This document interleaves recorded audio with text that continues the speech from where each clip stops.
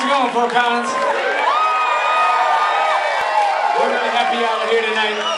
This is our CD release party. Yay!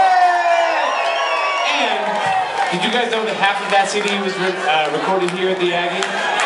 Some of you guys are probably on that CD too. How excellent.